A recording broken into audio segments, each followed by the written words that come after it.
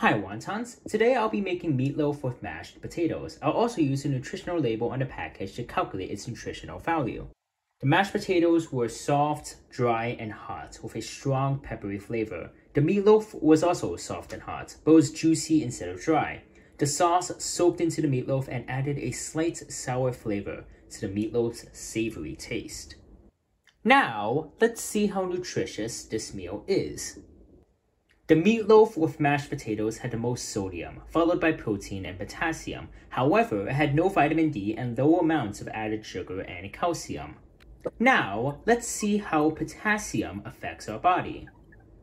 Potassium is not only needed for normal cell function, but it also cooperates with sodium. A potassium deficiency can increase blood pressure, cause constipation, cause muscle paralysis, and other symptoms. When you eat too much potassium, it is usually excreted through urine, but certain people, such as those with kidney issues, can get muscle weakness, paralysis, etc.